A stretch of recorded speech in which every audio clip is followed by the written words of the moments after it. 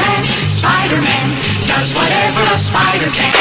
Okay, okay, guys. I know I'm really late on this. I should have talked about it as soon as it came out because I seen it as soon as it came out. But I didn't want to talk about it. Well, actually, I did want to talk about it, but I was so mixed up with thoughts of other content that I wanted to do. If you just see my recent video, it was the special video, the pre-special 200 subscribers video. Go watch that. It's fucking hilarious. You see me rage. I'm pretty sure you guys love when you see me raging. So go ahead and watch that if you want to see me rage and shit.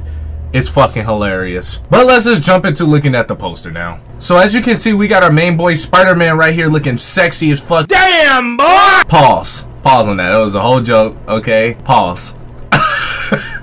And we also get to see Electro's lightning bolts in the back. That looks fucking cool. I like the little aesthetic that they're going with with that. Basically giving a little glimpse out of all the villains and their powers and yeah, yeah, you get what the fuck it is. It's supposedly that Sandman shit in the back.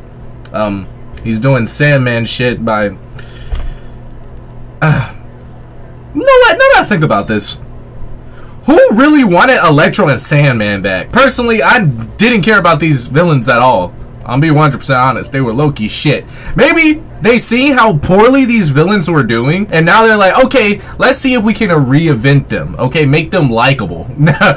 Because right now, we we all know that we ain't really like Sandman or Electro like that, okay? They're not really rememberable villains. So yeah, that is kind of a smart way to do it. And then you also see Doc Ock's fucking octopus arms, whatever, metal octopus arms, seem like they're about to wrap around Spider-Man or grab Spider-Man. And then you also got fucking Green Goblin in the back, that motherfucker hiding in the corner. You see that motherfucker. But you guys should already know, I am super excited for this movie. This poster is basically like eye candy to me right now. It's like, it's like feeding me fucking drugs because I am fucking loving this. Alright? I am fucking loving this. It looks awesome. So, and I really can't wait. I really hope they bring Tobey Maguire and Andrew Garfield Spider-Man in this.